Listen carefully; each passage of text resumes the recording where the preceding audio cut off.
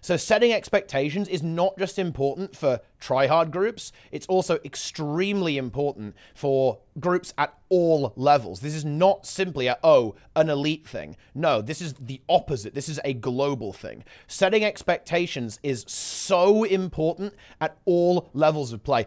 Right, daily. Oh, I need to go to these strikes pretty. I, I presume uh, Alac mech, DPS Alac. Yes.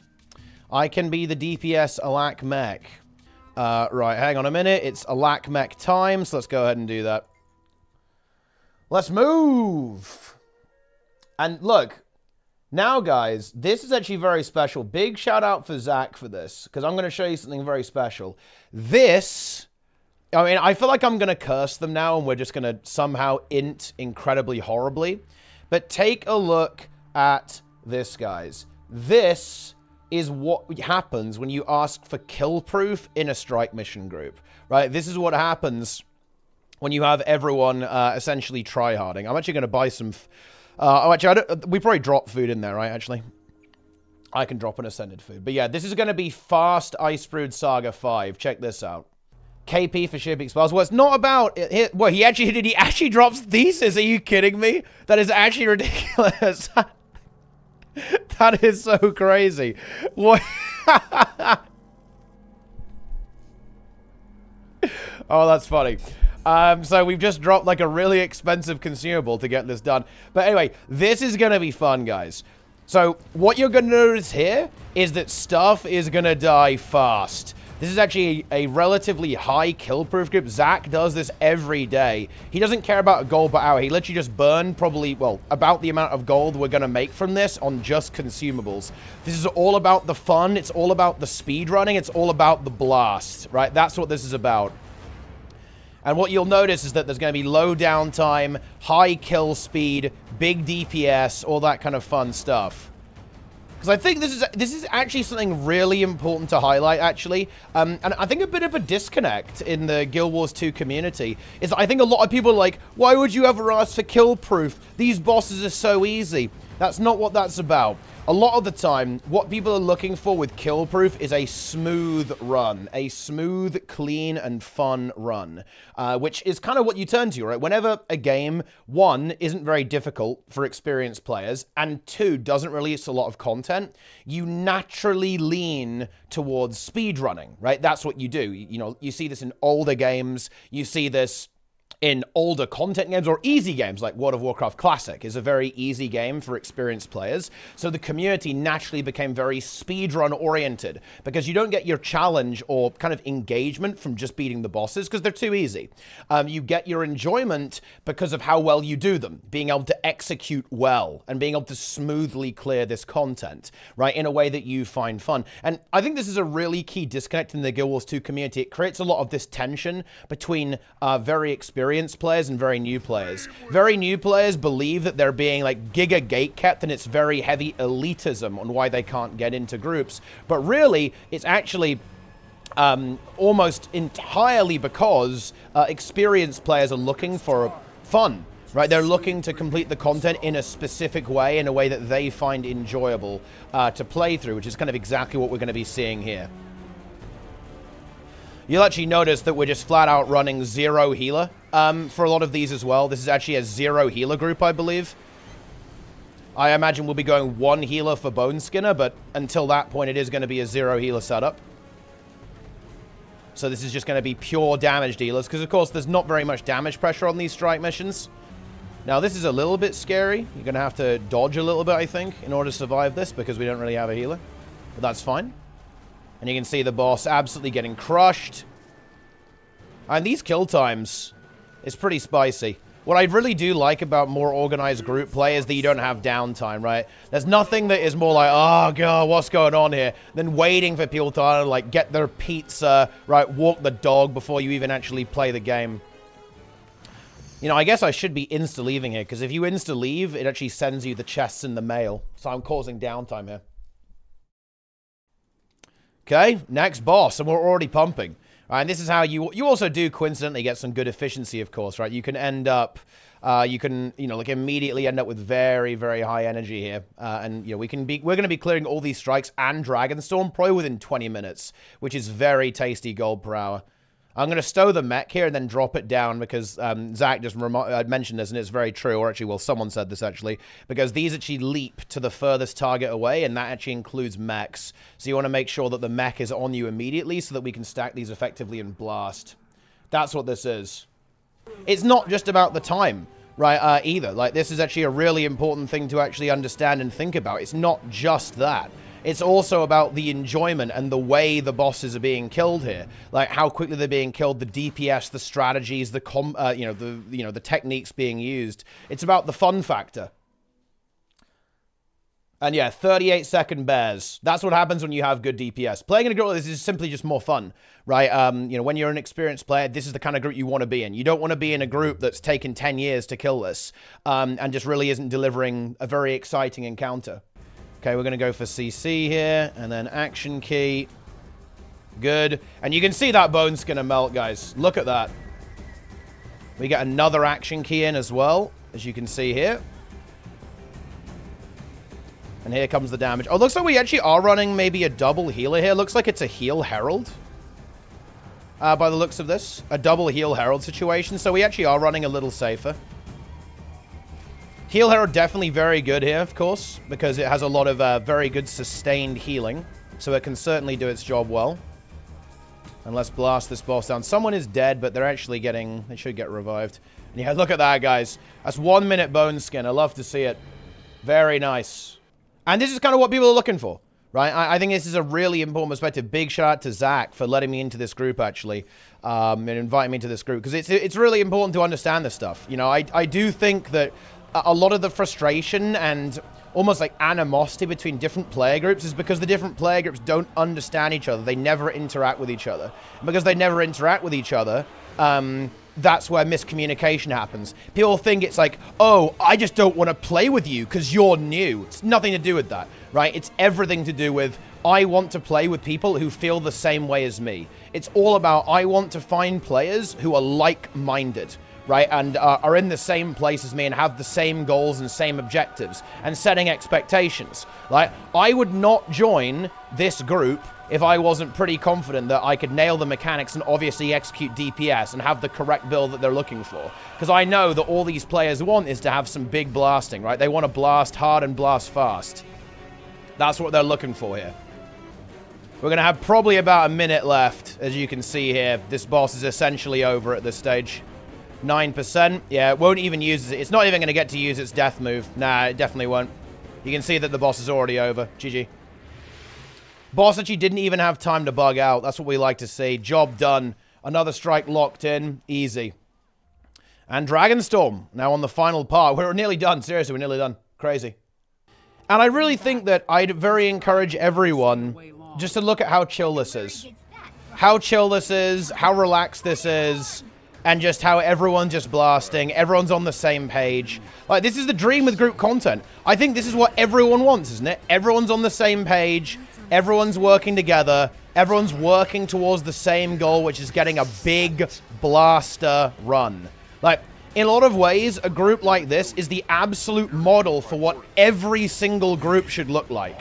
If you're in a training group, it should be everyone on the same page, working towards the goal of learning the fight and clearing the boss. If you're in a more experienced group, it's more about farming and potentially getting good speed, right?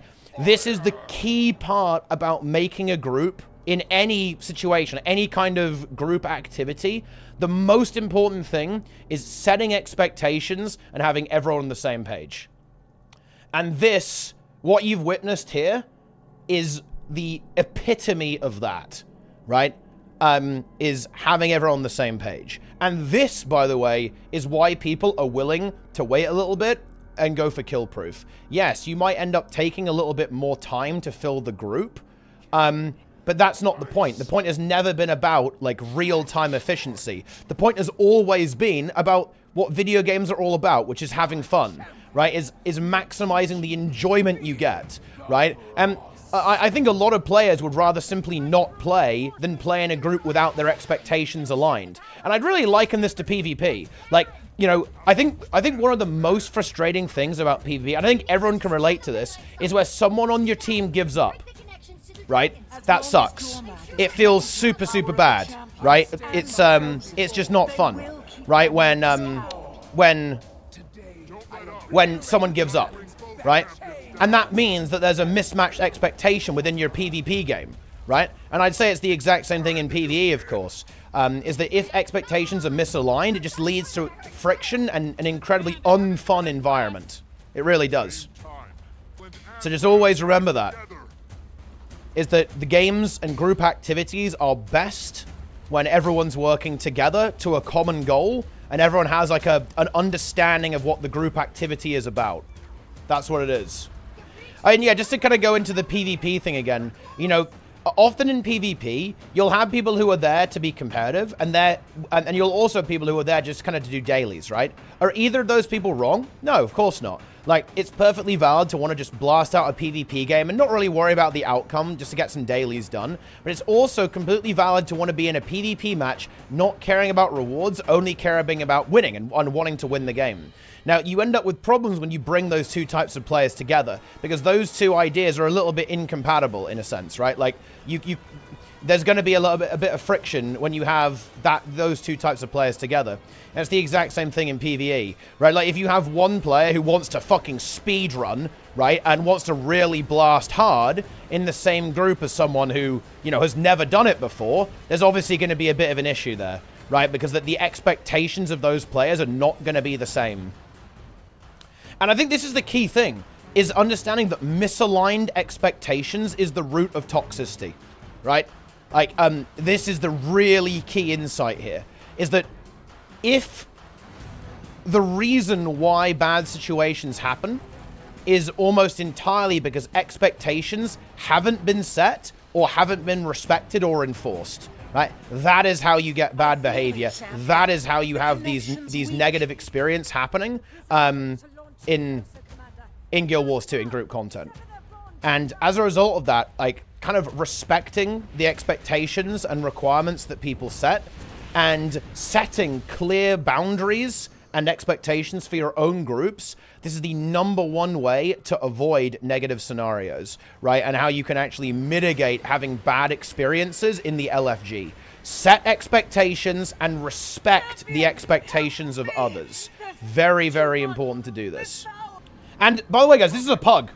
Right, this is a pug. This is not a static group.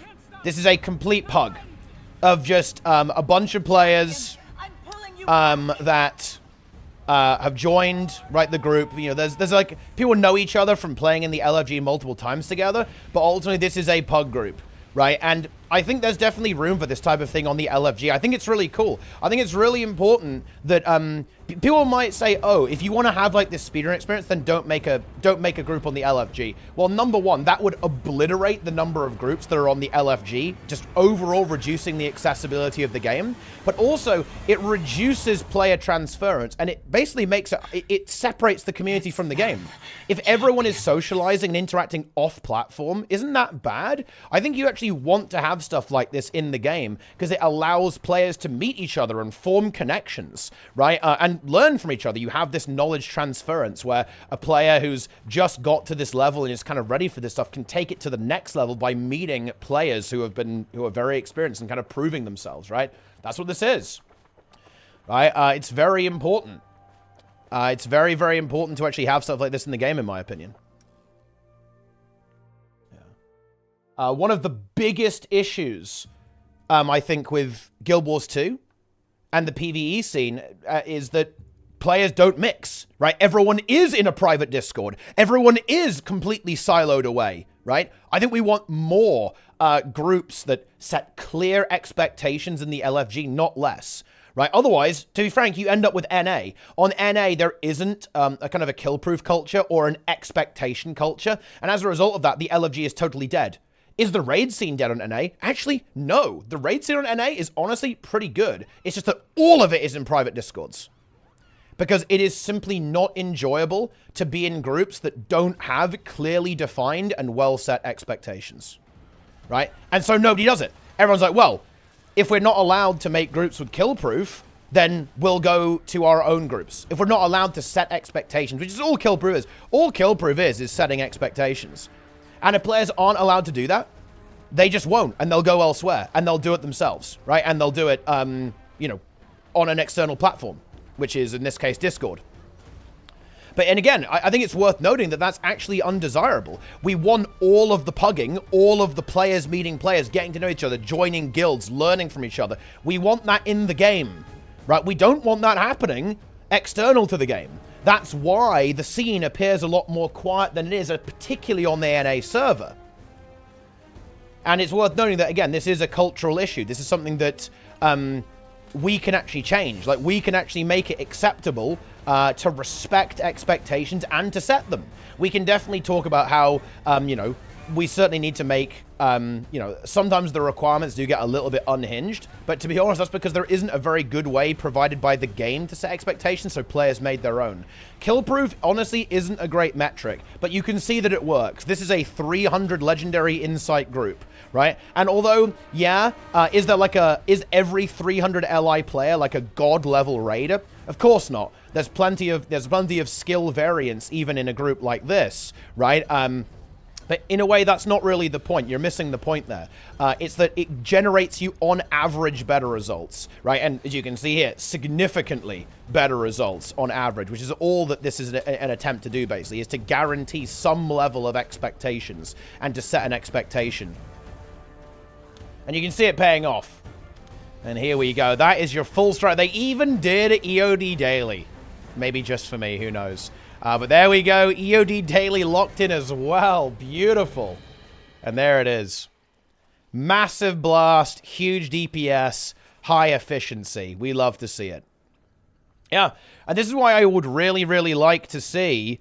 Um, I'd love to see a way to properly set expectations in the game. Like, uh, you know, a way that, you know, you have to have killed it at least once to join a group, right? Or some way to see a kill counter, like how many times a player has killed it. Uh, and that's important, by the way, because right now, kill proof, you can only get it once a week, basically. It's kind of annoying to get. Um, but imagine if you could just kill a boss like 10 times in a row, right? In one day, even. But And you don't get loot, but it increments the kill counter. That means that you have a number that says, oh, yeah, I've killed this boss 20 times, right? And you can just grind it like that. Because one of the issues with kill proof is that it's time gated. If you remove the time gate from kill proof, it becomes significant significantly less problematic and less frustrating to deal with, I think, in a lot of these situations, right? Um, and yeah, we I think the numbers are a little bit overkill, but again, the numbers are a bit overkill, mostly because there isn't like an official way to do it, um, um, to basically set expectations for groups. Um, and again, I really would say, think about this. The alternative is people don't use the LFG. Um, because if you don't allow players to set expectations in the game, they'll do it outside of the game, right? Because at the end of the day, this is a leisure activity, and people don't want to be wiping again and again and again on content they've blasted. Because honestly, time efficiency is relevant there, but secondly, fun efficiency. They have to, to have fun in the video game, and people don't like wiping, right? It's not that much fun to wipe if you've killed a boss a hundred times. And also, there is that element where you want to have good gameplay. Like, that is a totally different gameplay experience to a standard Icebrood Saga gr um, Strike group. It's a totally different experience, and it's a very enjoyable experience. I think that Guild Wars 2 really does lend itself very well to speedrunning and having that group experience of everyone working together, it's actually extremely gratifying. It's why I personally really enjoy um, doing like the raid full clear speed runs because everyone's working together, everyone's trying their best, relying on each other, communicating, all that kind of stuff. It's a lot of fun, and I think Guild Wars 2 gameplay really leans into that extremely well. Uh, so it's no surprise that a lot of players enjoy that, right? You know what I mean? That's what it's all about. It's very important stuff. Um, but yeah, that was actually the fastest Whisper Fraenir Boneskin to Ankka this patch so far. That's what we like to see. We love to see it. Fantastic stuff. Big, big, big, big, big. Yeah, there we go. Oh, there it is, guys. New fastest log on Whisper of Joy. That's it, guys. You know, the Frugal Fighter uh, is in the mix, I guess. Although, wait, was that? I think that might not be. is that today, actually?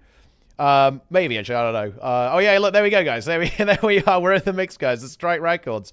CMC can't stop me. The microtransaction enjoyer is getting the the strike records right now. We love to see it. oh, that is funny. That is very very funny. And I think that a really good thing to point out here is that this actually goes both ways too. Like, I think it's really important that um, when you make, if a new player makes a group, um, you might you won't you shouldn't expect it to be a speed run, right?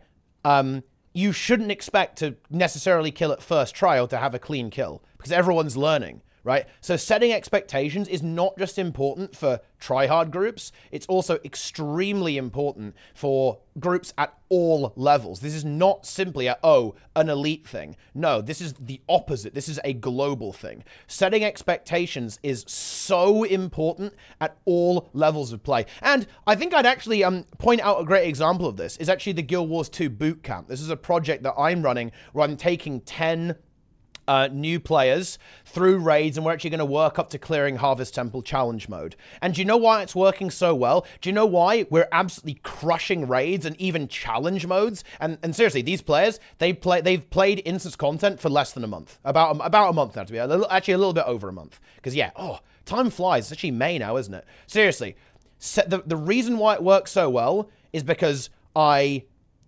set expectations and I said, this is what we're doing. This is our goal. If you want in, great. If this doesn't sound like it's for you, hey, that's totally cool, but this isn't for you. Uh, and that, that was a different, and it's really important, that was a different type of expectation. I didn't ask for kill proof. In fact, I actually specifically said that they couldn't have raid experience. So I did anti-kill proof, right? Um, but I said, yeah, you've got to be new. You've got to be willing to learn be willing to re-roll your class, be willing to show up, or, uh, you know, at a specific time, right, and put the work in, right, and put the, you know, listen to me. And they did this, and as a result of that, we're having an amazing time, an incredibly positive social experience, and of course, great results in the game too. So again, this is not just about setting expectations to make your, you know, super special snowflake speedrun team. This ultimately is how you combat negative experiences at all levels of play. It's all about making sure people are on the same page and expectations are set and respected right? Uh, it is completely unreasonable for uh, a, you know an experienced player to join a training group and expect to kill it first try or complain about low DPS. That player's an asshole, and you should kick them. However, it's also unreasonable for um, a completely new player to join a highly experienced group that's uh, essentially looking for a bit of a speed run. That player, and this is the important thing, that player is being toxic, and they should be removed right? Both of those situations are toxic and contribute to why players don't use the LFG. Because, one, uh, that sucks. That might be frustrating. Secondly, and here's the really important insight it's not fun to kick people. It's actually really uncomfortable. Um, you, you, know, I think it's very easy to visualize, say, you know, a, a, raid leading commander as like a mustachioed villain who's like, oh, I can't wait to kick this player who's got 3k DPS. I can't wait. No, I know almost, I don't think I've ever encountered a commander who actually likes kicking people. Seriously, I don't think I've ever seen it. Um, it's actually not fun. No one likes to be the bad guy. Nobody likes to be the villain who says, actually, you can't play with us. Right? Actually, no. Uh, I'm afraid we're going to have to remove you from the group. That isn't fun. Right? That's not enjoyable. It's, it's actually a very stressful situation um, and definitely for me, dude, I, I'm, I'm terrible at kicking people. Anyone who's watched my stream will know that I can't do it. Uh, it it's actually a serious personal failure. I actually can't do it. Seriously. Um, it's not good. It's something I've got to work on. I need to be better at kicking people because it actually leads some pretty scuffed scenarios sometimes when I don't kick people from groups. Uh, and as a result of this, it's important to consider that, I think uh, is that it's it's a toxicity that drives people away from using the LFG because they don't want to be a villain and because they don't want to be frustrated, right? And this, in my opinion, this kind of conversation that we had here is one of the biggest issues with um, group content in Guild Wars 2 is that the culture has problems with it. The way the community interacts is an issue. And there's a bit of complexity here as well. Um, I think it's worth noting that I think a lot of the reason why um, people join groups that don't match expectations, in other words, they kind of break the rules in a way, is desperation. Players go, there's literally no group, I'm going to have to just YOLO and try this. And I understand that. Like, that is a problem, and that ultimately is because players don't feel empowered to create their own group. That's something that we should also work on. There's a systemic issue there as well. I think the commander tag is put on a bit of a pedestal. I think we shouldn't hold commanders to basically having to hard carry every single run. I think there's a lot of pressure uh, on commanders. That's a systemic thing. I really think that parties and squads should be merged so a tag isn't special. It's like, oh yeah, I just made a group. Right? I think one of the issues with the game is that making a group, making a squad is like, oh, I paid 300 gold. This guy paid 300 gold. Oh, it's different. This is not a party. This is a totally different thing. It kind of makes it it the game almost says this is a special thing, this is a special person. Whereas in reality, making a seriously, this is so wild to me. This is so wild. Can you imagine making a group in an online MMORPG being seen as a special thing? More than just one of the most basic, fundamental building blocks of the gameplay, that is wild. The fact that that's how it is in Guild Wars 2 is absurd, to be honest. It is absurd. It's unworkable. It is unacceptable that that is the way we have the game culturally, that, ooh, ooh, creating a squad, this is a big deal. No. Making a group in an MMO is not a big deal, and it shouldn't be. It, it, it's ridiculous that it is, right? That needs to be solved. And that's something that, again, I think can be fixed systemically by removing the gold price and merging squads and parties so they're the same unified system to make it more of a normalized thing for sure but also culturally i do think that guild wars 2 um there is a weird game. Like, essentially, one player does all of the work, organizes the subgroups, tags up, might give instructions, right? Might tell people what to do, places markers, and you've got uh, everyone else who says nothing, never interacts, and does nothing. That's an issue. It should be a lot more of a group effort. It should be a lot more of a group coordinated and back and forth, like two way street, rather than a commander just doing all of the work. That's too much pressure. It's systemic and cultural. It's a multifaceted issue uh, here as well. And, and I think that really leads into this because when players feel like the only way they can get into content is to join um, someone else's group, that's when you have the communication breakdown. That's when you have the expectations being misaligned and falling apart and lines being crossed, boundaries being crossed. That's how you get the toxicity. That's how you get the, oh, I got kicked. The, oh, this kill proof is ridiculous. That's how you get spiraling higher kill proof groups. And ultimately, that's how you get players entirely moving off platform because they simply don't want to deal with the system, right? They're like, no, fuck this. I'm out. I don't want to deal with this. The system is is not good. The culture isn't working, right? People are desperate. I'm going to go on Discord, right? And I'm never going to use this system ever again. And that is why the LFG um, in Guild Wars 2, and ultimately, I think kind of group content is currently struggling right now. Um, that's what's going on here. We must fix this. We need players to feel empowered, especially new players. Um, and I guess one final word on this is this is a weird one too. The Guild Wars 2 scene is incredibly top heavy.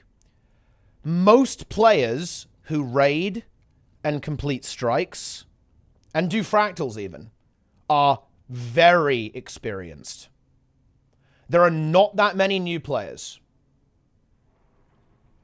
uh, in the game, uh, getting into the content. There's a lot of people who are experienced, but not that many new players. So to be frank, there aren't enough new players to form groups efficiently right? And a, a, big part of that is I think it's because new players don't feel empowered to make groups. They don't stick. They bounce off the they bounce off the content, right? They're like, oh yeah, GG, right? I can't make a group because uh, I don't feel like I can. I've got to join someone else's, but there are no groups for me. Oh no, it's over. So the real important thing is we need to empower people to do this, right? Um, to help equalize the scene and create more resources for players to feel confident in learning their build, um, making a group, trying out this content, because it's really not that bad. Like, strike content, fractal content, even raid content, it's not that hard. Um, you know, you really can uh, like I think that any player in Guild Wars 2 can learn and conquer this content relatively easily if they so want to.